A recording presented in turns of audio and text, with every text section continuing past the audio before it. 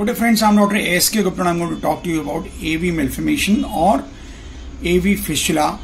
She is a 75 year old woman who has com- complaints of swelling in the right biceps region and you can see that she has a large swelling about uh, 4 inches in size and it is a pulsatile swelling. When we do the ultrasound, we find that she has a lesion in the muscle. This is the biceps muscle and inside the biceps muscle you can see that there is a lesion. And this lesion what is this lesion? Is it a lipoma or is it an abscess? When we ask the patient we find that she gives a history of trauma.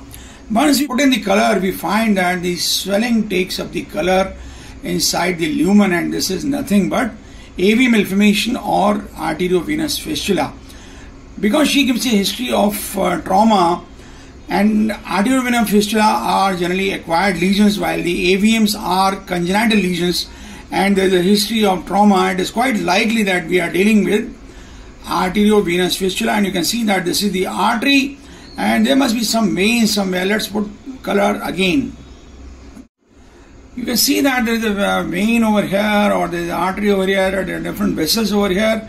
This is of course is the noise and this is the AVM or the AVF arteriovenous fistula most likely because uh, there is a history of trauma.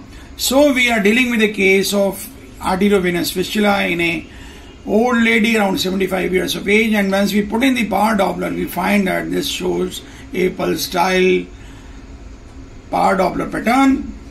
I hope you like this video of uh, AV fistula. In case you like it, please do subscribe to our channel. Do not forget to press the like button and share the video among large number of friends. Thank you so much.